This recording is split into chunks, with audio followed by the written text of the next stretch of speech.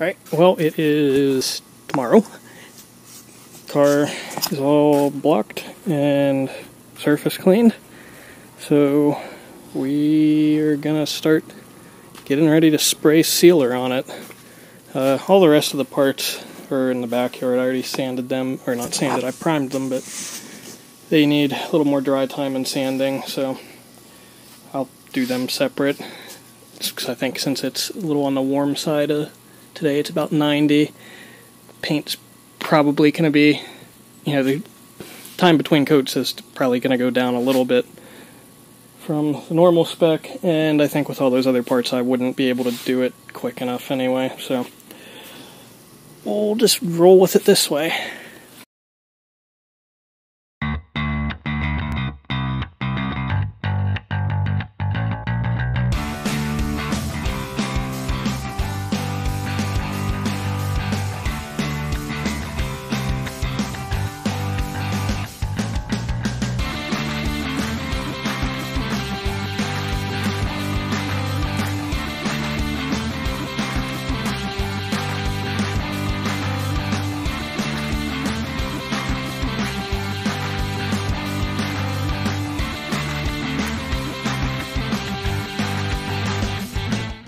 Well, the car's painted.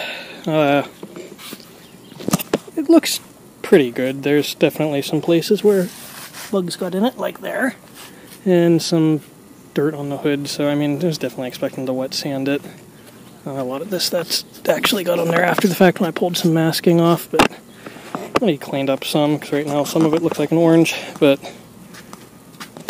either way, I think it looks okay. Definitely looks better than it all peeling off. So, you know, we'll definitely have to do some correction on it, but it's good enough for who it's for. Anyway, I gotta go paint the bumpers now and the little trim pieces and then hopefully call it a night.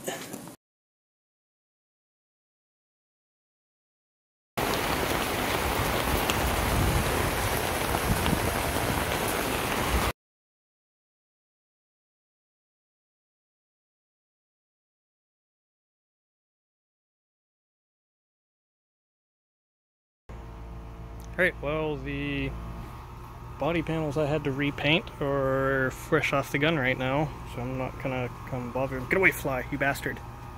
Should have died. Fucking flies. Anyway, um, yeah, these are the ones that got damaged by the rain the last time, surprisingly. So this time I've taken a little bit more precaution, even though it's not supposed to rain, and sort of put plastic up and hopefully we'll keep them safe for at least an hour or so until it flashes enough that water won't hurt it. Anyway, so that's done. And then over here, um, I screwed up. See, I got a bit overzealous sanding and burned through the clear coat and even the paint a bit right on the seam of the door. So, masked it all off and repainted and cleared it too while I did those panels. And then had to do the same thing on the back part of the hatch here because the paint was apparently thin there and got through it on the edge there. So I didn't do the whole hatch, just masked it there where the spoiler goes across the whole way to the edge. I think it goes from like there to there. So that'll hide the seam there under it. Uh, otherwise, we just gotta let paint dry and I should probably go quit avoiding cleaning out the paint gun. Even though the cheap Harbor Freight piece of junk one's irritating me, but anyway, dry. Alright, well, I'm out here in the garage using the DA to do some polishing on the car after I wet sanded it some. Of course, my first time painting it, it was kind of humid and hot. Got some orange peel, but wet sanded it with 800, 1000, and 1500 grit. And, you know, I went around here, this section up here, with the little orange pad there on the power drill and it came out looking like glass. Like, okay, great. So I go start with the DA, and I think it's sitting down there. I used a, you know, just an orange, the most aggressive cutting pad that was in that pad set I got, and it's still, you know, you could see sanding marks, and it just didn't look great. In fact, I think I'm gonna have to go redo the hatch top because I saw some of the same thing in it. But I used this Meguiar's pad I bought too. I think what's that? Yeah, that one. The complete foam one, and it's cutting a lot better. Same compound, same Meguiar's 105, but pad makes that much of a difference. Sure, that ain't news to most people, but it is to me. So, yeah, just thought I'd share that real quick.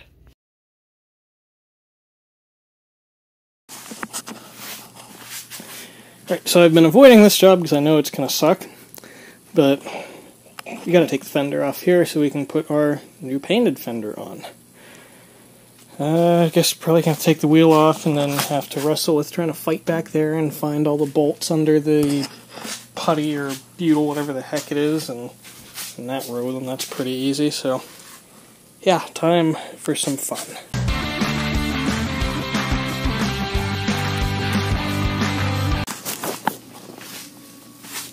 Well, this corner of the car is naked now. Uh, yeah, I got the fender off.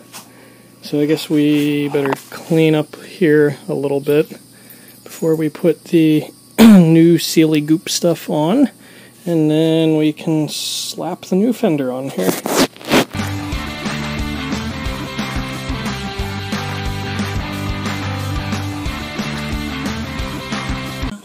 Well, fender's on and it looks like it's pretty well lined up.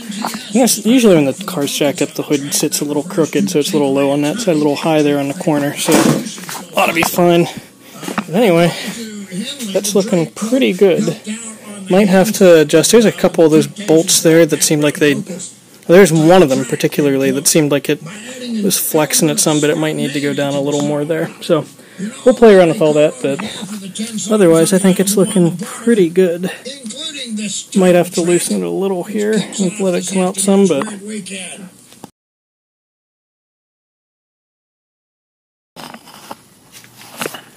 Alright, well, the back of the car is largely put back together, especially this side. I got the window and the trim and everything in here, and I repainted the trim so it looks nicer. Pressure washed the spoiler too. Most of it cleaned up, although there's still you know, some discoloration that I couldn't get to come out. And I don't know, might have to try doing something to make it look a little less faded, especially next to the nice shiny black trim. This side's all back together, and this quarter's polished. I need to finish up the wet sand, well, finish, I need to start in wet sand and polish this side. Um, you do the same to the door over here. But now we're going to start putting the bumper back on. So I need to grab some tools, but hopefully we can get that set up in place and get the uh, sprayers hooked back up, even though I'm doubtful that they might actually work or not, but who knows.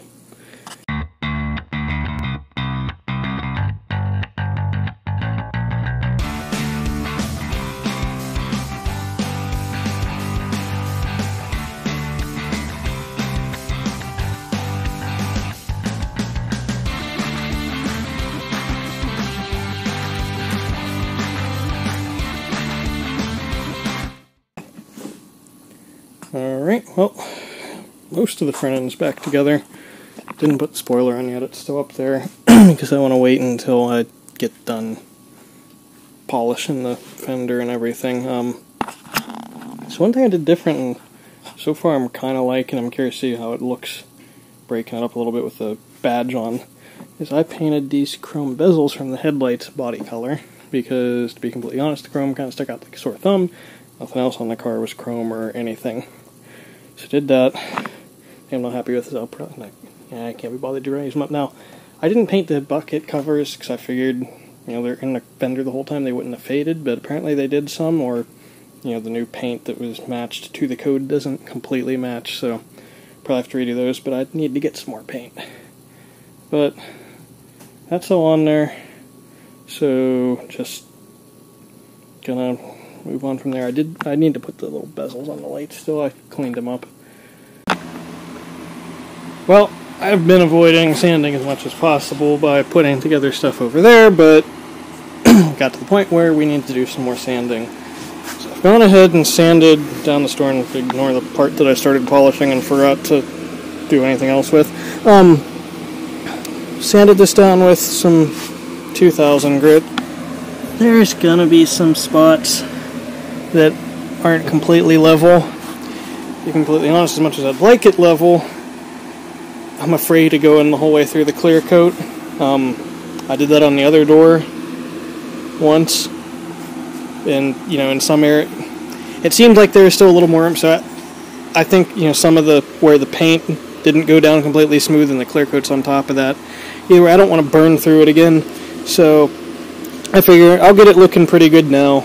Can always do more later if I feel brave enough, but at least I'll get it good enough to put together and, and can drive the car a little more or whatever.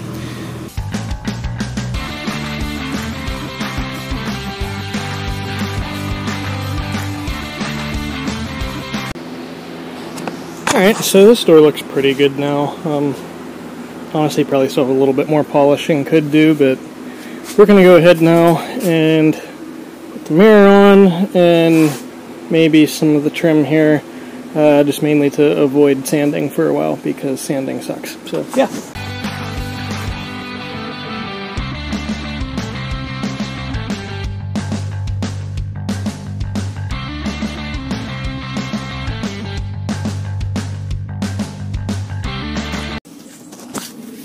Alright, so yesterday I went ahead and I got this. Oh, that's uh, that's not good. I think that just broke. Shit. Uh, anyway, um, I put the door back together, and this window scraper on this side's roached. It pretty much the little groove in it that's supposed to hold it, all the bead on it supposed to hold it, in the groove on here is gone. So, yeah, had to order a new one and they're like 200 bucks. So fortunately, the other side it was it looks old and cracked, but it's at least in enough shape that I don't want to spend 200 dollars on it. So that one's okay. This one get a replacement. So um, well, I was gonna go ahead and put sunroof in and put that door back together, but now that this seems to have just broke, I guess I'm taking this door back apart. It literally worked last night, and it worked earlier today whenever I walked over here. Well, I don't know how well you'll be able to see down there, but see that zip tie there? That's holding the door mechanism together, uh, at least on the back half of the handle. I took some pictures of it. I'll try and put a picture. But it opens now. And I also adjusted it out so it doesn't take quite as much travel to open. So I'll try to remember to pull on this side, which is still solid, but for now it'll work. I will order another one. No, that's not permanent, but I can at least open the door for now. Just have to go online and find one, probably dial up 928 International or something, but at least that's good for now. So now I can catch back up to where I was yesterday by putting the door panel back on. Which means, let's see, I am further behind than I was yesterday. Yay!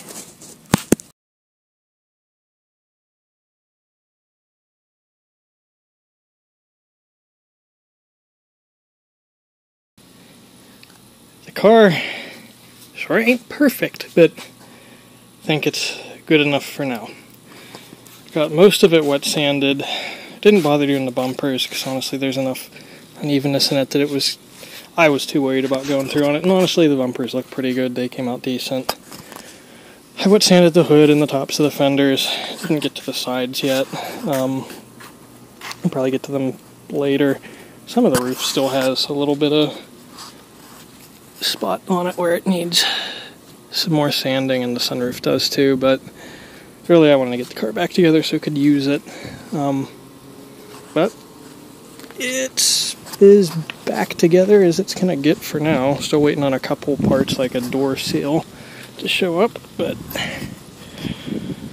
for the most part, it is all back together. And like I said, I mean, if you look real up close, you're gonna find some things that aren't perfect on it, but you know, it's oh your expectations. I knew it wasn't going to be perfect.